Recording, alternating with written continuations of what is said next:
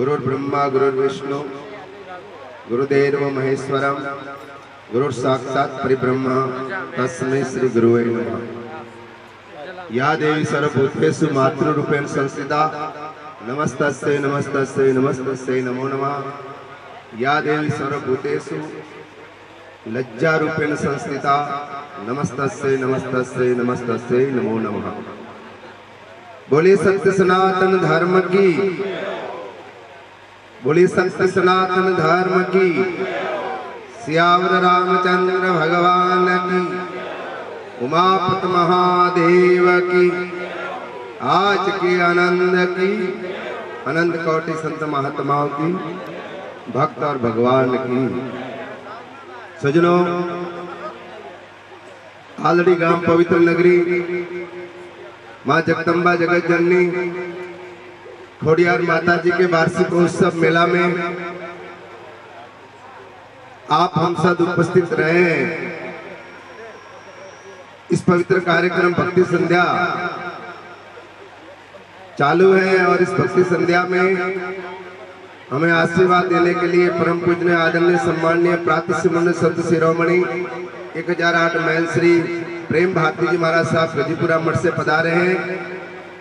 अपने बड़े सदभाग हैं। पुरोहित जी, मसरा जी, पुरोहित जी का भाव और श्रद्धा के साथ में मूँगे मेहमान अपने बीच में उपस्थित हुए हैं? भाव राग जो भक्ति थोड़ी वही नौमती, मुक्ति, संत सदाई नर भेड़ा बटे क्या करे जम? हेरा।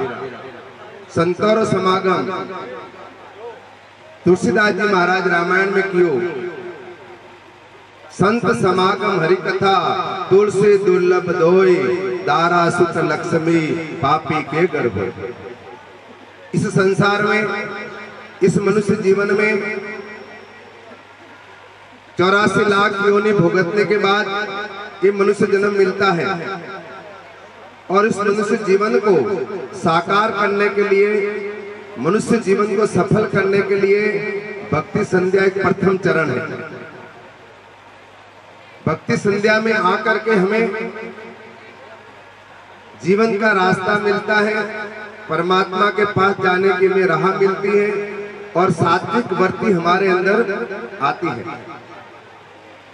लेकिन तुलसीदास जी महाराज ने कहा कि संत समागम हरि कथा ये दुर्लभ होया करती है। धन, दौलत, मिलकत, मकान इत्यादि सुविधा हर इंसान के पास होती है। चाहे अच्छे कर्म करे, उनके पास भी होती है। चाहे नाजायज कर्म करे, उनके पास भी होता है। लेकिन दुर्लभ संत समागम हरि कथा भगवान का स्मरण, सत्संग और संत महापुरुषों के दर्शन और माता पिता की सेवा ये जीवन में दुर्लभ होया करती है। ये चीज़ प्राप्त करने के लिए हमें बहुत सारा जीवन में होना पड़ता है। तभी हमें हज़ारों गुना अच्छी चीज़ प्राप्त होती है। सत्संग करो संत से, क्या नुगरे से काम? नुगरा नार के लिए जावसी संत मिला दे रहा कहने को बहुत कुछ है, लेकिन करना बहुत कठिन है। और किए बिना कभी हमारा जीवन का उद्धार नहीं होता है। कलयुग केवल नाम आधारा, सुमेर सुमेर नर उतरे ही भव पारा। तुलसी संसार में धारा जिसे दो, धन चाहिए तो धर्म करो और मुक्ति नाम से कोई। पैसों से मुक्ति मिलने वाली नहीं है। परिवार से मुक्ति मिलने वाली नहीं है। ये तो हमारा एक जीवन सफ़र का साथ है। वस्त्र है, इज़्ज़त रखता है, धन दौलत मिलकत है तो हमें जीवन में सुविधा देता है। लेकिन मुक्ति तो परमात्मा के नाम से ही मिलेगी। और संस्कार संत महापुरुष से मिलेंगे और विवेक माता पिता से मिलेंगे।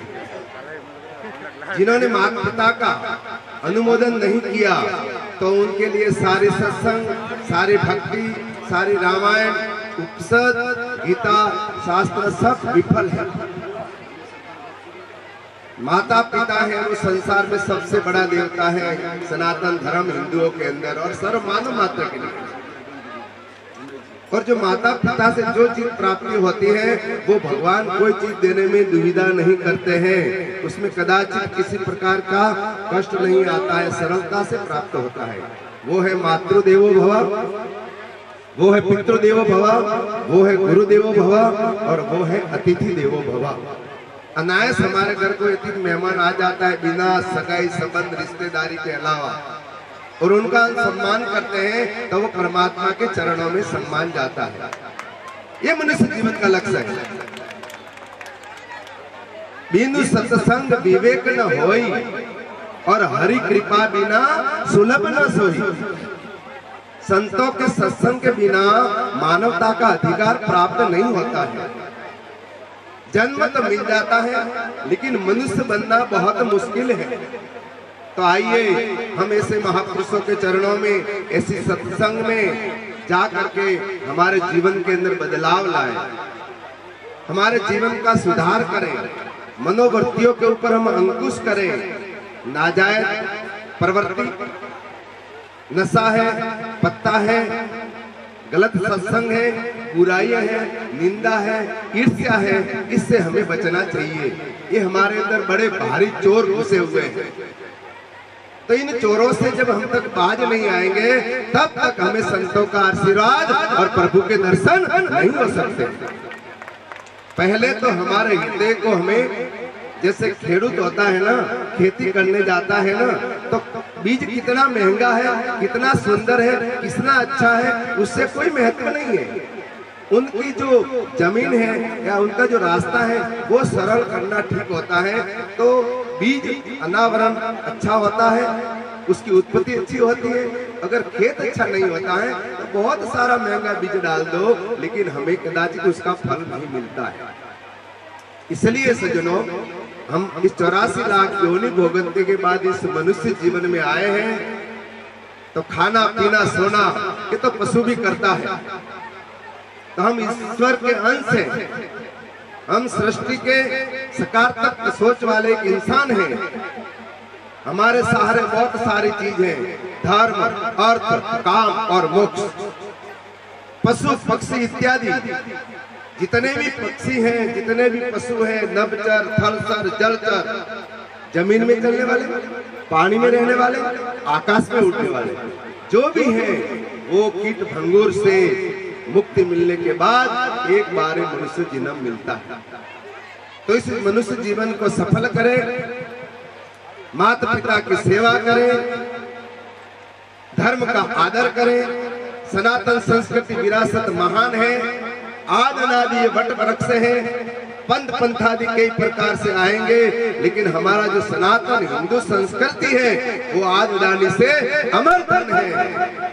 जो वो संस्कृति सबको प्लान करने की राह सिखाती है। हर मानव मात्र का, हर जीव मात्र का, पशु हो, पक्षी हो, वनस्पति हो, सभी का हित करने का सनातन संस्कृति हिंदू धर्म सिखाती है।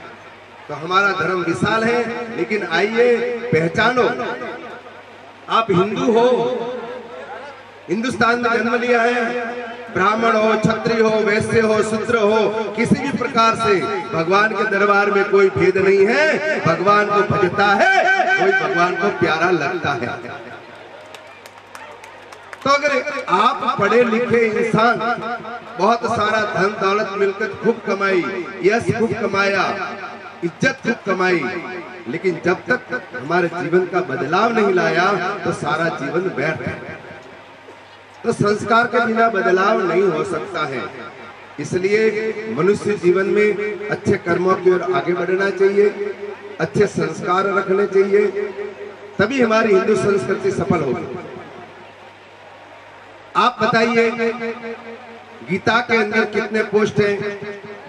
देश विदेशों के अंदर समुद्र से सात पार चाहे मुस्लिम कंट्री हो चाहे इंग्लैंड हो चाहे कोई भी देश हो इजराइल हो उन्होंने गीता देखी नहीं है लेकिन आज वो लोग गीता का अनुसरण करते हैं। वहाँ श्री कृष्ण श्री कृष्ण की धुन लगती है और गीता के अध्याप पढ़ करके अपना जीवन को सुखद बनाते हैं। लेकिन हमारा बड़ा दुर्भाग्य है इस भारत देश में चौबीस अवतार हुए। भगवान कृष्ण ने साढ़े पाँच हज़ार वर्ष पहले गीता की रचना की और एक गीता ऐसा ग्रंथ है जो हर मज़हब हो, हर व्यक्ति हो, किसी की आत्मा को शीतलता देने वाला ग्रंथ है तो हमारी गीता और रामायण है। तो आप हिंदू बताइए, कितने जन गीता को पढ़ते हो? सुबह उठ के कितने जन कृष्ण कृष्ण करते हो? बोलो, गायत्री मंत्र किसको किसको आता है? बताइए। ठीक बात है, बहुत अच्छी बात है। ओम भूर भर्गो देवस्य धीमहि धियो यो न प्रचोदयाता। तो हम हिंदू हैं, कहने मात्र के, लेकिन थोड़ा थोड़ा अनुसरण भी करो। मंदिर जाओ, दिल में ढूंढो, परिवार से प्रेम करो। इस सागर में सात्विक जीवन जीने का प्रयास करो। माता पिता की सेवा करने का आप अभ्यास करो। सुख दुख में हर इंसान को साथ देने का सपना समझो तभी हम परमात्मा के प्यारे हो सकते हैं। भगवान को प्राप्त करने के लिए आपको बहुत समय बिताना पड़ेगा। लेकिन अगर माता पिता अंतिम समय में उनका श्वास निकलता है और अगर आप उनके चरण की सेवा कर लोगे उसके वस्त्र धो लोगे, उनके सुख दुख में उनके खटली के अंदर उनकी सेवा कर लोगे तो उनकी एक आशीष मिल जाएगी, बेटा। हो रे जी? तो थे हो रहा इस रेवा रहा और बनौरी अगर विधवा पे मिली तो भगवान शंकर, ब्रह्मा, विष्णु, महेश का भी आपको आशीर्वाद नहीं मिल सकता। बोले माता पिता गुरुदेव। बोलो कृष्ण चंद्र भगवान की। जय हो। हमारे बीच में भाई श्री कृष्ण देवासी भक्ति मधुर स्वर में आपको भजन प्रस्तुति दे रहे हैं। आपका भी बहुत बहुत अभिवादन करता हूँ। और समग्र सनातन धर्म प्रेमी इस पवित्र कार्यक्रम में भक्ति संध्या में आप लोग लाभ ले रहे हो। आपको भी बहुत बहुत बधाई और शुभकामना देता हूँ। दीपावली के पर्व में भगवान राम घर पे आए थे, दीपक जले थे, खुशियाँ मनाई थी। बोलिए, आप लोग दीपावली के मौसम में दीप तो जलाए होंगे, लेकिन पाँच मिनट बैठ के भी भगवान राम का स्मरण नहीं किया हो। तो आइए, अभी दीपावली पूर्णमासी तक चल रही है, थोड़ा भगवान का गुणगान कर लो। आपके बीच में हमें भी आने का मौका मिला। बहुत समय हो गया, हम तो बस लेटने की तैयारी करते थे, लेकिन फ़ोन आया, बाप जी का फ़ोन आया। सोते सोते क्या करो, सोते आवे नींद। सिर पे काल घूम रहा, तोरण आया भी तो हम हर में से चौबीस घंटा काल के मुँह में रहते हैं, लेकिन राम जी की परमात्मा की हमारे पे कृपा है, जब तक हमारी सारी टंकाई चलती है। बाकी सुबह का भी पता नहीं क्या होने वाला है। इसलिए प्रभु की भक्ति करना ज़रूरी है सात्विक बनना ज़रूरी है। सनातन संस्कृति की भी रक्षा करना हमारा कर्तव्य है। आइए थोड़ा सा भगवान का गुणगान करें। इनके बाद मैं मेरी वाणी को विराम देता हूँ। क्यों? कि आप लोग भक्ति संध्या सुनने के आतुर हैं। हमें भी शब्द दो शब्द कहने का मौका मिला। आप सभी ने सुने, उसके लिए भगवान आपको सदैव सुखी रखे। अन्न, धन से भंडार भरे। आपको परमात्मा की भक्ति मिले। आप मातृ भक्त बनो आप पितृ भक्त बनो आप गुरु भक्त बनो राष्ट्र देश भक्त बनो और अपने इष्ट देव को दीपक लगा करके दो अगरबत्ती करके सुबेरे धंधे पे जाना भगवान आप सबका कल्याण करेगा। बोलो सदगुरु देव की। बोले कृष्ण चंद्र भगवान की। जय श्री राम जय राम जय जय राम श्री ये अगर क्लास लगा है ना, ये कल क्लास मिलने वाला नहीं है। मसरा जी को और इस पुरुष परिवार को, माँ भगवती के भक्तों को धन्यवाद देता हूँ कि आपने संस्कृति को सुरक्षित रखने के लिए आपने भक्ति संध्या का आयोजन किया तो आइए हम भी उसका लाभ उठाए। श्री राम जय राम, जय जय राम। और मोड़ो दीवा मोलवान आड़ो कॉमी नहीं आवे, मंदिर बढ़िया बनी है अगर कियो होनियो लेकिन मुड़ाती नहीं जपियो तो कोई दाड़ा बड़वारा नहीं इसलिए मुड़ाती राम राम जरूर ले जो थोड़ी एक दिन अपने घर की अस्थि उठी यदि से राम राम करी तो कोई माटी तो होमड़े को नहीं अगर अभी जीता जीते राम नाम नहीं लीधो પછી માર કે ઝાડખા નબળાવો તો હે ભૈયા અણ વાસ્તે अगर अने शरीर के द्वारा आपे प्रभु नाम रोड लेता रहिए ना तो भी उस मिट्टी को वो समर्पित हो जाएगा श्री राम जय राम जय जय राम। श्री राम जय राम जय जय राम। श्री राम जय राम जय जय राम। श्री राम जय राम जय जय राम। मनुष्य जन्म अनमोल रे मिट्टी में मत गोल रे। अब जो मिला है फिर न मिलेगा कभी नहीं कभी नहीं कभी नहीं